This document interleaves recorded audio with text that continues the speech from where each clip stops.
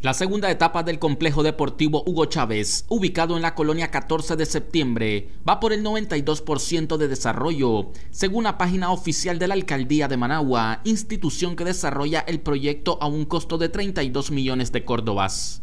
Se puede observar en el complejo deportivo que las obras grises ya finalizaron y son detalles los que se aplican para dejar listo el parque que contará con canchas de fútbol sala, canchas de basquetbol y juegos infantiles.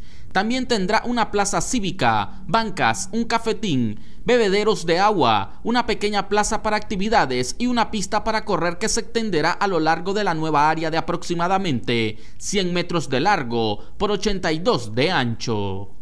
Metro, el diario más grande de Managua.